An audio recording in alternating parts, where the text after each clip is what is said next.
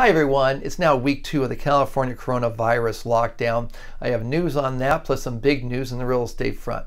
First off, the lockdown has now been officially extended to the end of April. No big surprise on that. We were expecting that. We'll have to find out together whether it goes further than the end of April. In real estate, big news. The governor of California has announced that real estate services is now part of a list of essential services for California, which means that we can buy and sell real estate again. We as real estate agents can act like realtors again. That's big news for all the people out there who cannot wait till this virus is over to make this move happen.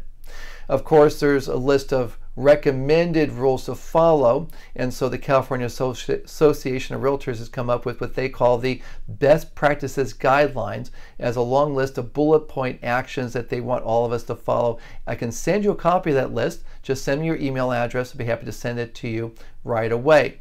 It does include some basic items like let's avoid the interaction between the buyer and seller and let's limit the number of people who are in a property at any given time. Of course, I like to see everybody who comes into property wearing rubber gloves and wearing a face mask.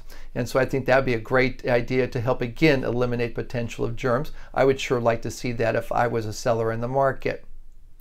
If you're thinking of buying and selling, please get a hold of me. I'll share with you more details and also talk about the benefits, pros, and cons to acting right now or waiting longer. Also, we have a little ways to go before the lockdown's over. So, for all of you, please continue to make the best of this, and I look forward to giving you updates as more news arrives. Have a great rest of your day.